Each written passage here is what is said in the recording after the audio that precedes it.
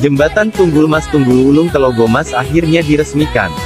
Jembatan Tunggul Mas diresmikan Wali Kota Malang Sutiaji pada Kamis, tanggal 24 Februari tahun 2022.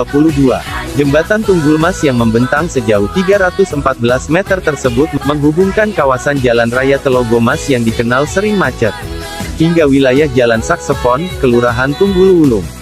Rincian dari 314 meter itu terdiri dari bentang utama jembatan Tunggul Mas sepanjang 127 meter, serta panjang jalur penghubung di sisi Jalan Telogomas dan sisi Jalan Saksepon sepanjang 187 meter.